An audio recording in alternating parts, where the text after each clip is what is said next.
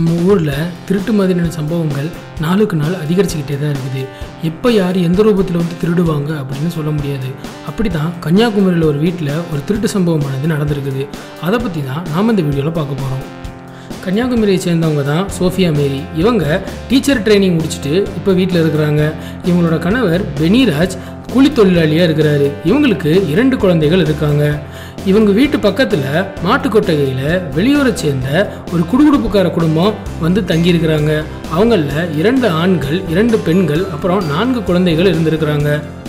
அதே ஊரில் தங்கி வீடு வீடாக போய் குறி சொல்லி அதன் மூலமாக ஒரு வருமானத்தை வச்சு அங்கே கொஞ்ச நாள் தங்கி இருந்திருக்கிறாங்க.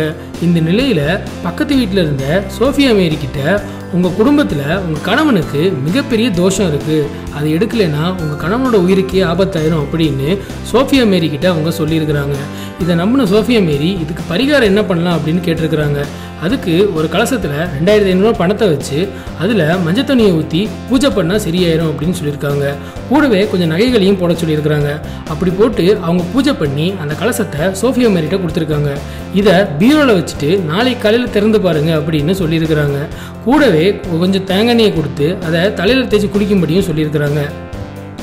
மறுநாள் சோஃபியா மீறி பீரோவை திறந்து அந்த பானையை ஓப்பன் பண்ணி பார்த்தப்ப தான் அவங்களுக்கு மிகப்பெரிய அதிர்ச்சி காத்திருந்தது. ஏன்னா அந்த பானையில் நகைகளுக்கு பதிலாக வெறும் கற்கள் மட்டும்தான் இருந்திருக்குது. இதை பார்த்து அதிர்ச்சி அடைஞ்ச மேரி பக்கத்தில் இருந்த மாட்டுக்கொட்டகைக்கு போயிருக்காங்க. ஆனால் அந்த குடுகுடுப்பு குடும்பம் அங்கே இல்லவே இல்லை. இதை பார்த்து அதிர்ந்த சோஃபியா மேரி பக்கத்தில் இருந்த காவல் நிலையத்தில் புகார் பண்ணியிருக்கிறாங்க. கம்ப்ளைண்ட் ஏற்றுக்கிட்ட போலீஸார் வழக்கு பதிவு பண்ணி தீவிரமாக விசாரணை பண்ணிட்டு வராங்க.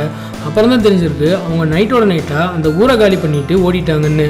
இதை போலீஸார் தனிப்படை அமைச்சு தேடிக்கிட்டு வராங்க. அடுத்த வீடியோ பார்க்குறதுக்கு முன்னாடி கீழே இருக்க சப்ஸ்கிரைப் பட்டனை கிளிக் பண்ணி எங்கள் சற்றுமுன் சேனலை மறக்காமல் சப்ஸ்கிரைப் பண்ணுங்கள் கூடவே பக்கத்தில் இருக்க பெல் ஐக்கானையும் ப்ரெஸ் பண்ணுங்கள்